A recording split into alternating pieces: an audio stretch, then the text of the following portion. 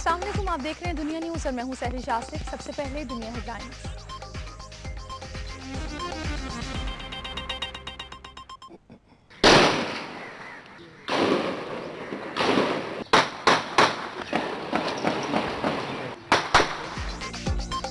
लियारी में कशीदगी ने एक और जान ले ली, एक शख्स जख्मी। लोग घरों में महसूर तलबा का मुतबादल, इम्तिहानी मरकज में पर्चा।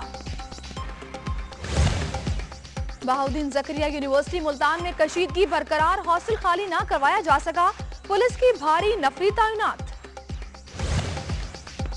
माँ ही कातिल बन गई फालिया में घरेलू झगड़े पर खातून ने दो बच्चों को जहर देकर मार दिया। दुनिया न्यूज़ की खबर पर शेखुपुरा पुलिस जाग गई। तालिबा से ज्यादती के मुलजिमों के खिलाफ मुकदमा दर्ज।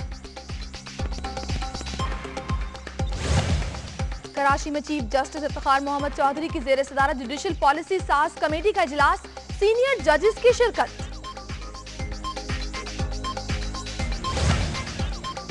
रेलवे के सबक जनरल मैनेजर सईद अख्तर चौदह रोजा रिमांड के बाद नैब अदालत में पेश। लंदन से जाने वाली परवाज 35 मुसाफिर ऑफ़ ऑफलोड मुसाफिरों का एयरपोर्ट पर हंगामा। अमेरिका का कहना है कि नेटो सप्लाई लाइन पर पाकिस्तान से मुआदे में अभी वक्त लगेगा।